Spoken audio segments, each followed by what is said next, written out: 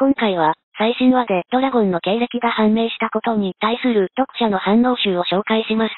それではどうぞ。ドラゴンの経歴がある程度明らかになったけど、22年前、バスターコールによりオハラ滅亡。クマ、イワンコフと共に革命軍結成。19年前、ルフ誕生。8年前、世界会議で話題にされるレベルに。これ、3年の間にどこまで革命軍をでかくしたかにもよるけど、ドラゴンもロジャーと同じく、お前立場考えろや、子供作んなと言われてしまうのでは？でも、子供がいるってこと、ガープとクマぐらいにしか知られてないですしお寿司。ベガパンクも知っていなかった？ルフィは頂上戦争で全世界にばらされたから、ベガパンクがいつ知ったのかはわからん。恋はいつでも、ハリケーン、奥さんに残された時間がなくて無理やり作らされた可能性もあるし、まあ実際子供はいたけど、頂上戦争で暴れ回るまでドラゴンと繋がりはわからんかったし、命がけでドラゴンと添い遂げるつもりでルフィを作ったけど創生。っ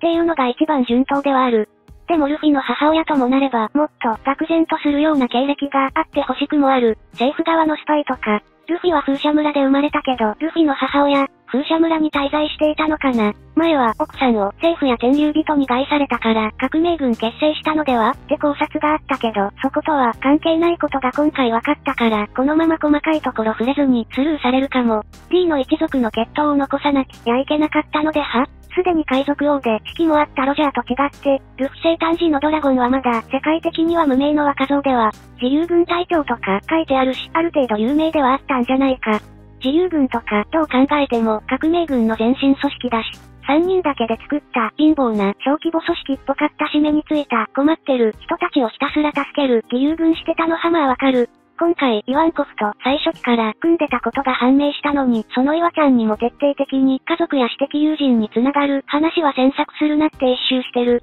のがあることから、自由軍を発足した段階で家族とのつながりは一切伏せて、ただのドラゴンとしてやっていくつもりだったとわかる。逆にクマにはどのタイミングでバレたのか、バラしたのか、このコマだけ見ると、娘は知ってたけど息子がいたのというニュアンスに解釈できなくも、イワンコフはおそらく、ドラゴンの様子を見て、イーストブルーに女性の家族がいるものと想像してたけど、それが息の良さそうな息子だったと知ってびっくりしたんじゃないか？小原に花を持ってきた時点では、犯罪者側ではないっぽいね。ただの貧乏だけど、正義感と実力はある男みたいな扱い。ドラゴンの妻ともなると、世界政府から隠れるために男になってる可能性すらあるだろ。イワンコフにどう説明すればいいのかわからないけどね。ドラゴンとガープが親子なの、バレたのっていつなんだろうね。それによっては、ガープが孫に会うって、風車村に帰ってたの相当危険な行為になるんじゃ。自由軍と革命軍のそれぞれの活動内容にもよるな。というかあからさまに自分は恩恵で、革命は市民の手でってスタイルだから、元は自分主導でやってたけどそれじゃあかんとなってやり方変えたとかではなく、元から戦争は嫌いだったのか。若い時のドラゴン、ルフとあまり似ていない。つまりルフィはお母さんに、ということは、今までの登場人物の中でルフィに顔を似てる女の人を探せば、ルフィのお母さんの可能性が出てくるごめんソース知らないんだけど、今までの登場人物の中にルフィの母親いること確定してるんだっけ？それは有名なガセだね。やっぱり、モンキー系、婿入りしたロックス D ドラゴン説、まだ可能性あるよな？あるかもしれないしなんとも言えないな。敵対してたロジャーとロックスの子孫がちとか、色々超えた仲になるってのはありそうな展開。でもこれだと、ロックスお亡くなりになった時、ドラゴンが17歳とかになってしまうんだよな。ルフィが生まれてない今回の回想シーンでも、名字がモンキーだからガープの実施かも。まあルフィの悪い顔はドラゴンにだろうけどね。普段のは母親にだとも思うけど、2008年の北米版 SBS ではルフィの母親について以下とのこと。生きていると思う。これについては今でも悩んでるけど。ただ、ストーリーに登場するなら、すごい屈強な女性じゃないかな。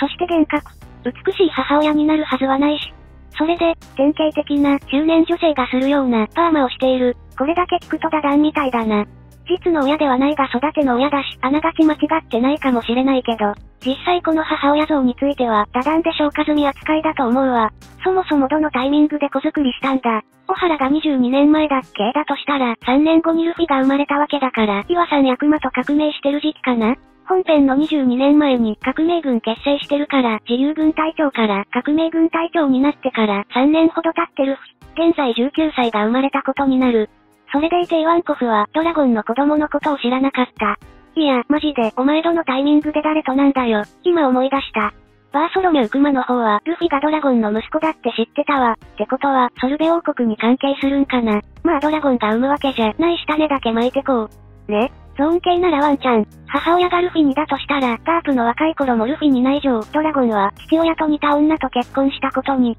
そもそもの話ルフとガープが似てるんだから、母親関係なく、覚醒遺伝なのでは？家族は見るような世界みたいだしな。まあ、ロジャーみたいに登場シーンが増えるたびにルフさんに寄ってくかもしれないんじゃね？似てる親子も似てない親子も今までいたしな。人柱になることを厭わない英雄メンタルとか輪郭とかルフィがガープやドラゴンから受け継がなかったものも色々あるよね。ある程度自由人で丸っこい輪郭で、なんとなく帽子もかぶってそう。漁師に関してなら、ワンピ女性の輪郭そこまで書き分けられてない気がする。ドラゴンは、ルフィが息子って認知してるから、少なくとも出産に立ち会った。もしくは出産に立ち会わなくても産む前に考えた名前を教えられたんだろうけど、小原の剣を見たら、エースが生まれた時の赤子狩りとか知ってるだろうし、自分の子供が周りに危険視されて孤立したり、最悪人質に取られて目的が達成できなくなる可能性は考えられるだろうに、子供を作る選択をしたのって、奥さんに盲目的な愛を向けてたのか、それともどうしようもない理由があっ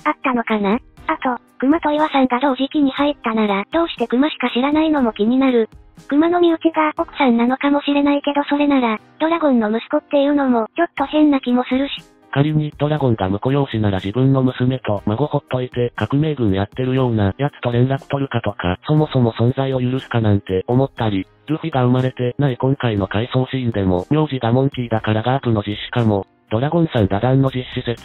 決定打はないが、ルフィの身辺で飛び放って打弾しかおらんし。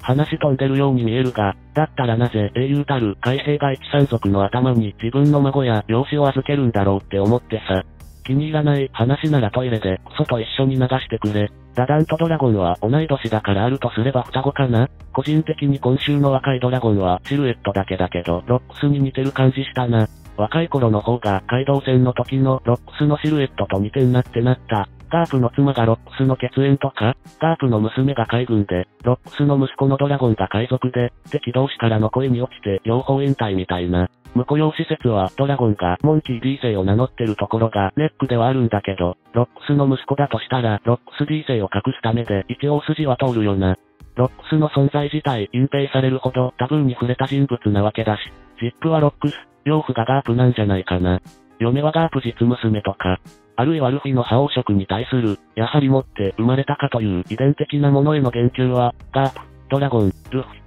を指してるのかと思ってたけど、もしかしたらロックス、ドラゴン、ルフィ。ことによるとロックス、ルフィだったりするのかもしれん。ロックス由来だとすると、風車村の村長が、これも運命か。も繋がるしそれっぽいな。